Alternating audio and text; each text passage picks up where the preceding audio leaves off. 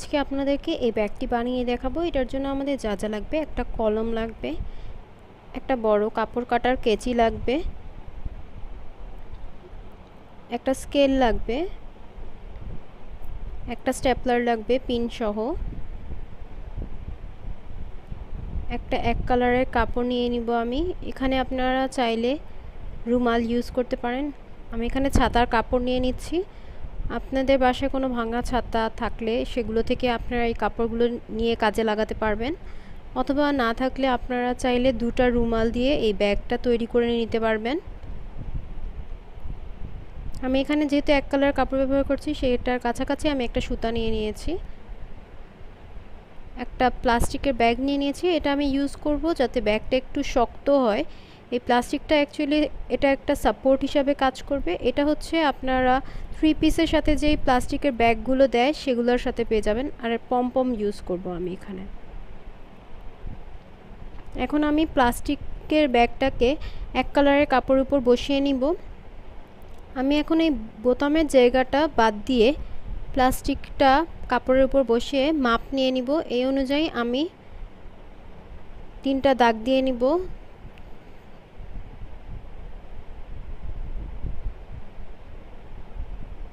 এই মাপ অনুযায়ী তিনটি দাগ দিয়ে নেওয়ার পর এখন আমি এই দাগগুলোকে স্কেল দিয়ে জয়েন করে দিব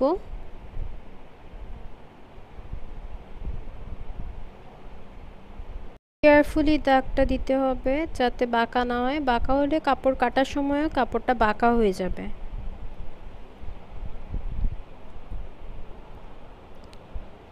দাগ দেওয়া হয়ে গেলে সেই অনুযায়ী কাছি দিয়ে আমরা কাপড়টা কেটে নিব।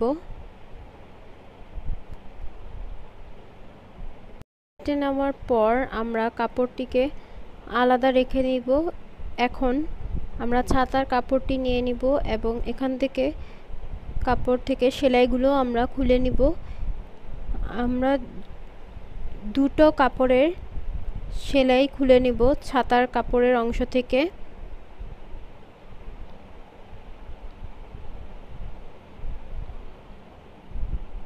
ছাতার কাপড়টা সাধারণত এভাবে করে কোনাকুনি থাকে, আমরা ছাতার কাপড়টাকে কর্নারটা উল্টে দিব, তাইলে কাপড়টা স্কোয়ার হয়ে যাবে।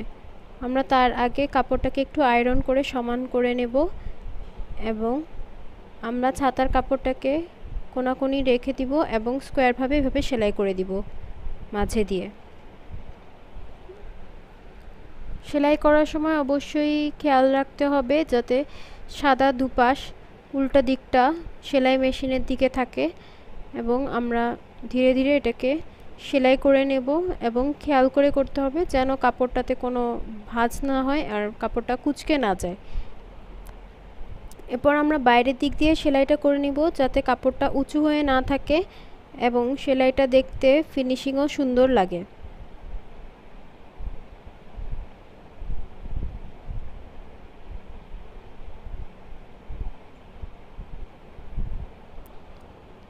এখন কাপড়টা দেখতে এরকম লাগবে এবং দেখেন কাপড়টা কীরকম বড় হয়ে গিয়েছে এবং সেলাইটাও দেখতে ভালো লাগছে।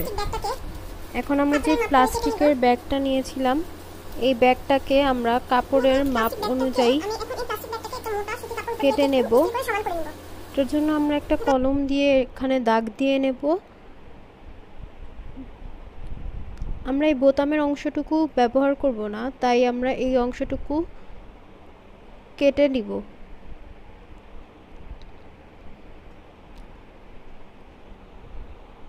এই অংশটুকু কেটে নেওয়ার পর আমরা যে ব্যাগটার দুটা পার্ট আছে, এটা আমরা আলাদা করে নেব। এটার জন্য আমরা কাটার ব্যবহার করব একটা। কাটার ব্যবহার করে আমরা, অথবা আপনারা কেচি দিয়েও এই কাজটা করে নিতে পারেন। সব পাশগুলো ছুটিয়ে নেব। শুধু আমরা এক পাশে প্লাস্টিকটাই ব্যবহার করব।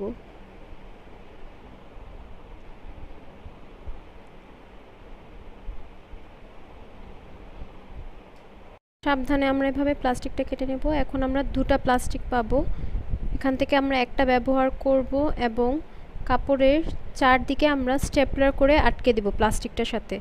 এই স্টেপলারের পিন অনুযায়ী আমরা কাপড়টার তিন দিকের সাথে প্লাস্টিকটাকে সেলাই করে দেব।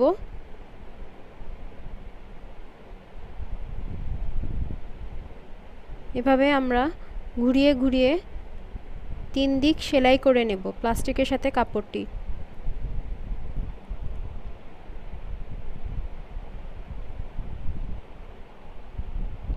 এখন আমরা ব্যাগের যেই অংশটার সেলাই করিনি সেখানে যেই স্ট্যাপলারের পিনটা লাগিয়েছিলাম, সেই জায়গাটা আমরা খুলে নেব। এই পিনটা মূলত ব্যবহার করেছিলাম যাতে কাপড়টি প্লাস্টিকটা থেকে সরে না যায়। এখন আমি ব্যাগটাকে ধরে জাস্ট উল্টে দেব কাপড়টি। বাইরের জায়গাটা যেন ভিতরের দিকে সেলাইয়ের মধ্যে চলে যায়। এখন এই অংশটা সোজা করে নেওয়ার পর আমরা এটা তিন দিক আমরা একটু হাত দিয়ে ভাঁজ করে দেব। এখন আমরা ব্যাগটা উপরে বসিয়ে ছাতার কাপড়টার এক্সট্রা কাপড়গুলো আমরা কেটে সমান করে নেব। এটা আমি দুই ধাপে কাপড়টা কেটে নেব। প্রথম ধাপে আমি এই অংশটা মিলিয়ে সোজা জায়গাটা মিলিয়ে নেব এবং যেখানে বাঁকা দেখা যায় সেই জায়গাটাতে আমি একটা কলম দিয়ে দাগ দিয়ে নেব। তারপর আমি স্কেল দিয়ে একটা লম্বা করে একটা দাগ টেনে নেব এবং সেই অনুযায়ী আমি কাপড় কেটে নেব। আমি দুপাশের ক্ষেত্রেই একইভাবে কাপড় কেটে নেব।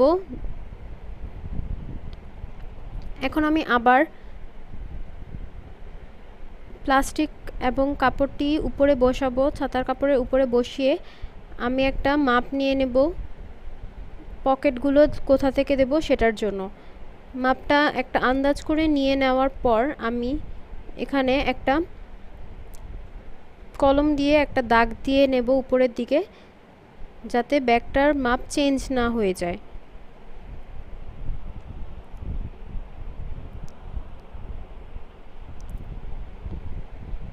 আমি সবসময় এই দাগ বরাবর বসিয়ে পকেটটা দিব এখানে আমি দাগ টেনে নেওয়ার পর আমি এই দ্বিতীয় দফায় আমি কাপড় এক্সট্রা কাপড়টা কেটে নেব। এটার জন্য আমি দুপাশ থেকে সমান করে কাপড় রেখে বাকি এক্সট্রা কাপড়গুলো কেটে ফেলে দেব। এটার জন্য আমি স্কেল দিয়ে একটু মাপ দিয়ে নেব। যতটুকু এক্সট্রা থাকে আমি স্কেল দিয়ে দাগ দিয়ে নেব প্রথমে। তারপর আমি কেচি দিয়ে কাটবো যেন কাপড়টা বাঁকা না হয়ে যায় কাটার সময়। আমি দুপাশের ক্ষেত্রেই এরকম করে দাগ দিয়ে নেব যেন কাপড়টা সোজা, সোজাসুজি কাটা হয়।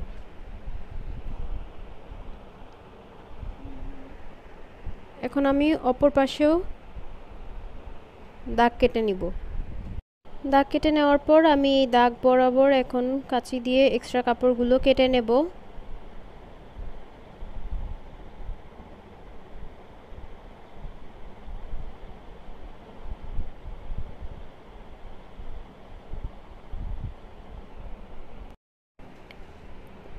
এখন দুপাশে কাপড়টি কেটে নেওয়ার পর কাপড়টা অনেকটা সোজা হয়ে যাবে এবং মাপে চলে আসবে।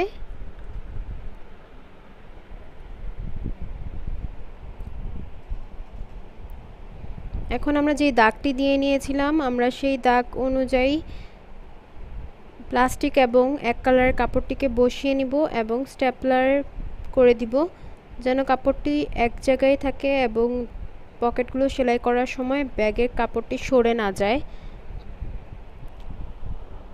এখন আমরা একটা স্কেল নিব।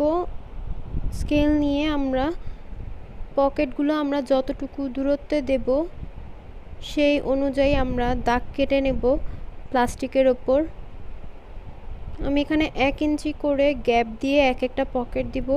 সেটার জন্য আমি এক ইঞ্চি করে গ্যাপ দিয়ে আমি পকেটের দাগগুলো দিয়ে নিচ্ছি। আপনারা এখানে পকেট ছোট বা বড় করতে চাইলে সেই অনুযায়ী দাগ কেটে নেবেন।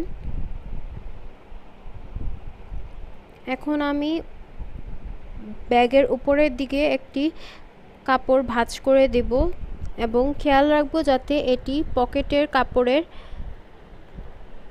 প্যারালালি থাকে এবং আমরা এখানে স্ট্যাপলার করে দেব যাতে কাপড়টা সরে না যায় এবং দুপাশে আমি সমান গ্যাপ রাখব এবং এক্সট্রা কাপড়টা আমি কেচি দিয়ে কেটে নিব। এখন আমি পকেটটির সাইডটা সেলাই করার জন্য দুপাশে আমি প্রথমে সেলাই করে নেব।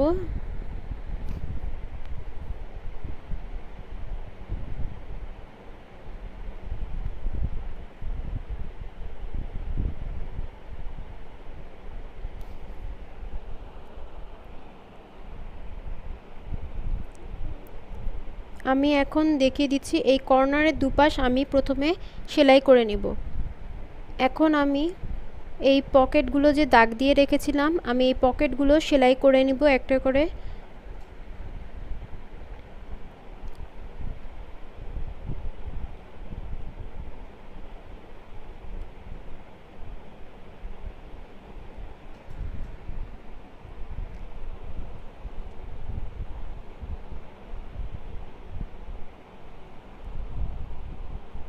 পকেটটা সেলাই করে নেওয়ার পর আমি উপরে যে অংশটা স্টেপলার করে নিয়েছিলাম, আমি উপরের পার্টটা আমি সেলাই করে দিব। এক্ষেত্রে আমি শুধু এক দিক সেলাই করব এবং বাকি তিন দিক খোলা থাকবে। আমি আপনাদেরকে দেখিয়ে দিচ্ছি, এই জায়গাটা তখন এরকম দেখাবে। এখন আমি ব্যাগের দুপাশে সেলাই করে নিব। এটার জন্য আমি একটু একটু ছোট করে একটা ভাঁজ দিয়ে নেব। দেন আমরা এই কর্নারটা একটু ভাঁজ করে করে আমি দুপাশে একইভাবে সেলাই করে নেব।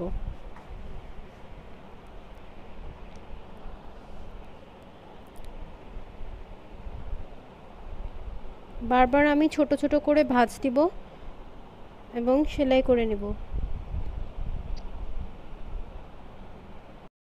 এখন আমি দুপাশ সেলাই করে নেওয়ার পর আমি সবার শেষে আমি উপরের পাশটা সেলাই করে নেব। এটার জন্য আমি উপরের পাশে বাড়তি কাপড়টাকে ভাঁজ করে ভিতরের দিকে দিয়ে দিব। এভাবে করে। দুদিকে আমি এভাবে ভাঁজ করে দিয়ে দিব এবং আমি তারপর সেলাই করে নেব।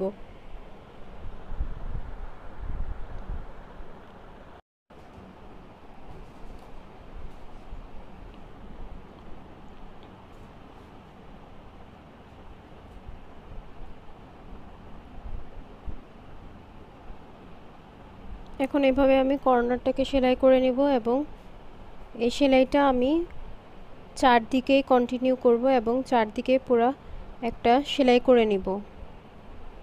এভাবে করলে ব্যাগটার ফিনিশিং ভালো হবে এবং দেখতেও ভালো দেখা যাবে।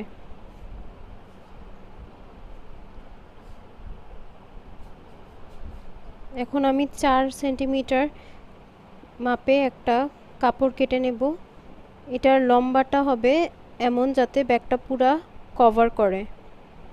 এখন আমি এটাকে ভাঁজ করে একটা ডুরি বানিয়ে নেব। এই জুড়িটাকে আমি এই ব্যাগের মধ্যে এখন সেলাই করে দেব।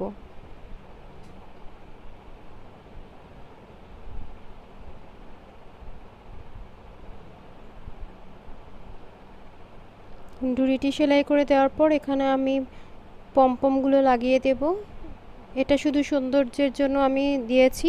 আপনাদের কাছে না থাকলে আপনারা এটা অ্যাভয়েড করতে পারেন। আমি দুইটা পম্পমই লাগিয়ে নিয়েছি ডুরির মধ্যে। এখন আমি এটা টাইট করে গিট দিয়ে দিব। এখন আমি যে এক্সট্রা সুতাগুলো আছে সেগুলো কেটে দেব।